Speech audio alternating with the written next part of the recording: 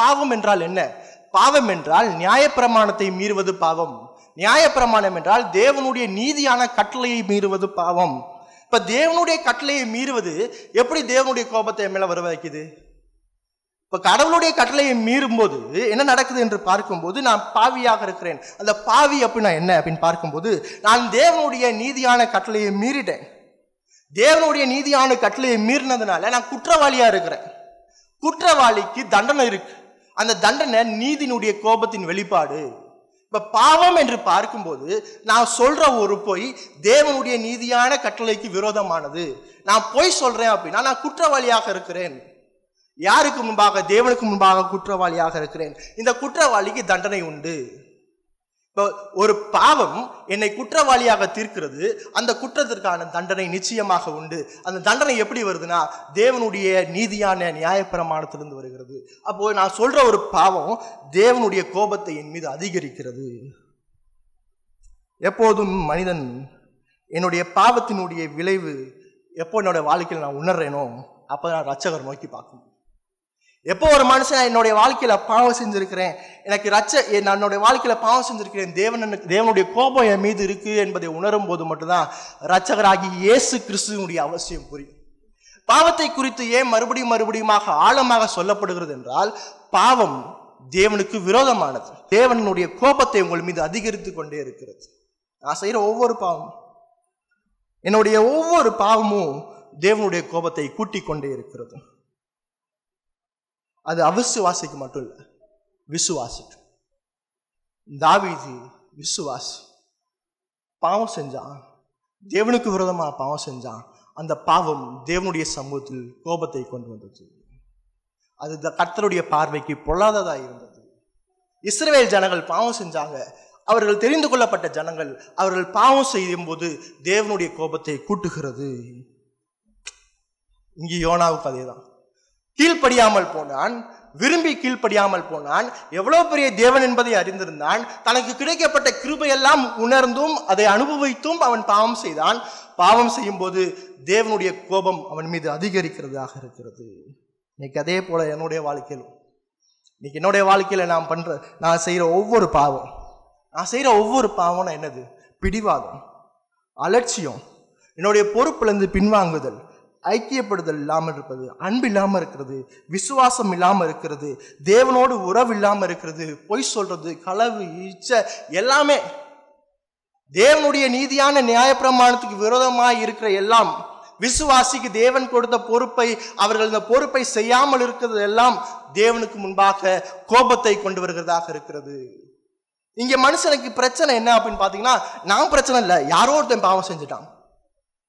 வேதம் என்ன சொல்லுது அப்படின்னா நான் பாவம் செஞ்சுட்டேன். இட்ஸ் மீ நான் பாவம் செஞ்சுட்டேன். என்னுடைய பாவத்தினுடைய விளைவு. தேவன் என் மீது கோபமா இருக்கிறார். இன்னைக்கு இந்த உலகம் அதை மறுக்குது.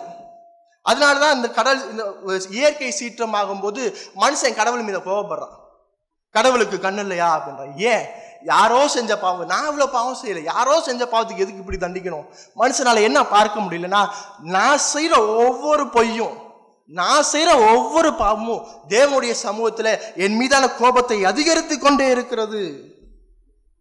மனுஷன் எப்போ தேவன் என் மீது கோபமாக இருக்கிறார்? அவருடைய அவருடைய கோபத்திற்கு நான் பாத்திரவானா இருக்கிறேன். தண்டனைக்கு பாத்திரவானா இருக்கிறேன். நித்திய ஆக்கினி என் மீது இருக்கிறது என்பதை உணரும் போதுதான் ரட்சகருடைய மேன்மை புரியும்.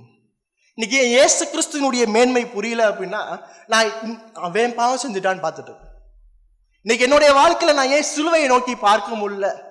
என்னுடைய வாழ்க்கையில் கிறிஸ்துவனுடைய மேன்மை ஏன் புரியல அப்படின்னா நான் நல்லா இருக்கிறேன் இவன் பாவம் செஞ்சுட்டான் கிறிஸ்து அவனுக்கு தான் அவசியம் எனக்கு அவசியம் இல்லை என்று சொல்லி. இந்த கப்பற்காரரை போல இந்த மாலுமிகளை போல இந்த புறஜாதிகளை போல விசுவாசிகளாகி நீங்களும் நான் நிறைய நேரத்தில் நாம் பாவி என்பதை உணராம இருக்கு நாம் பாவி. உன்னுடைய பாவம் தேவனுடைய கோபத்தை அதிகரிக்கிறது. நான் சொல்ற ஒரு பொய். நான் அன்பு காட்டாமல் இருக்கிறது. நாம் புறம் பேசுவது நாம் பகைப்பது களவு செய்வது இச்சிப்பது தேவனை சரியான முறையில் வணங்காமல் இருப்பது அவரை சரியான முறையில் ஆராதிக்காமல் இருப்பது அவருடைய நீதி நியாயங்களை சரியாக கடை கை கொள்ளாமல் இருப்பது இதெல்லாம் பாவம். இதெல்லாம் தேவனுடைய கோபத்தை அதிகரித்து கொண்டே இருக்கிறது. இந்த பாவத்தினுடைய கொடூரத்தை உணரும் போது மட்டும்தான். நான் எவ்வளவு மோசமான பாவி என்பதை உணரும் போது மட்டும்தான் ரச்சகர் தேவைப்படுகிறார்.